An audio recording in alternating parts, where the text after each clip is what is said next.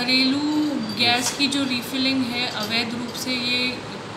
Completely गलत है और ये नहीं होनी चाहिए। यदि ऐसी कोई होती है, हमारे पास शिकायत प्राप्त होती है तो उस पर स्ट्रिक्ट से स्ट्रिक्ट हम एक्शन लेंगे। हमारे ईआई जो है, उसको मैंने पहले भी एक दो शिकायतों पे निर्देशित किया था कि वो वहाँ पे मौके पे जाके और इस तरह के अगर कोई भी अवैध हो रहे और इनको रुकवाया जाए और कठोर से कठोर जो कार्रवाई होगी बिल्कुल